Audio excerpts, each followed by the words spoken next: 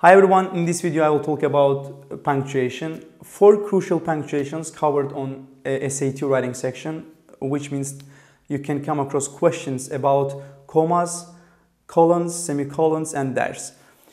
And here we have two straightforward rules uh, that cover all punctuation. Uh, first is what?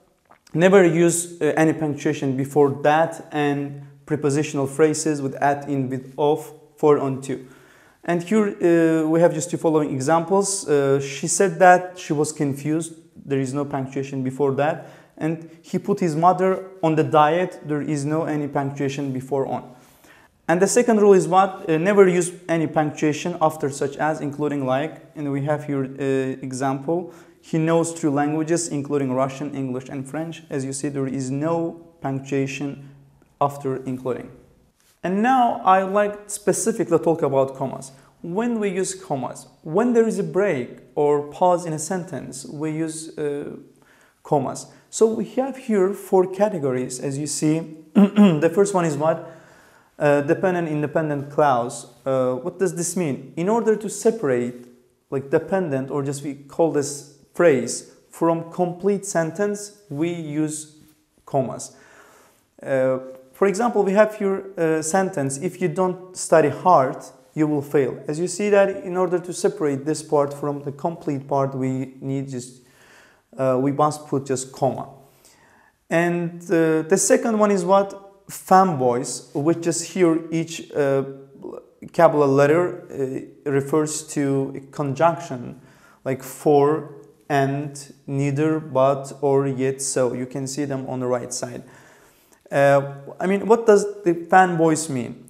Uh, keep in your mind that you cannot put a single comma between two complete sentence or two independent sentence. In order to connect them, you must use this uh, conjunctions, just uh, which just refers, as I said, like the uh, capital letters.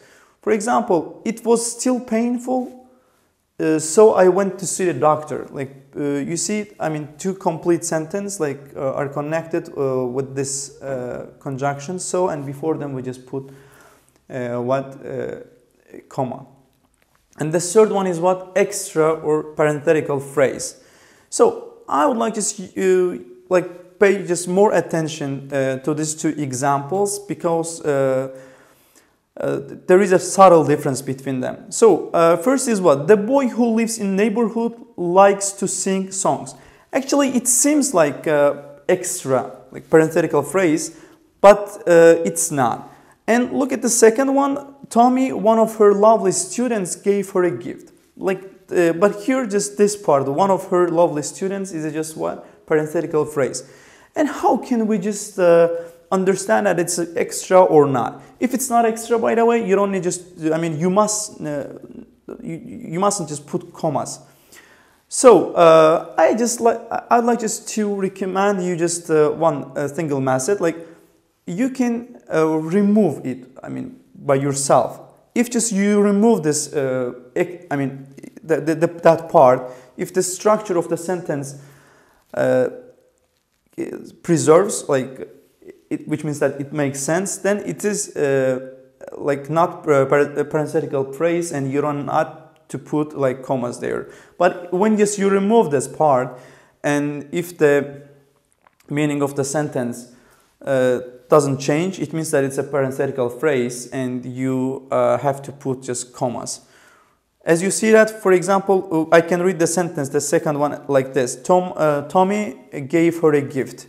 Like uh, here just uh, I can understand the sentence without this phrase.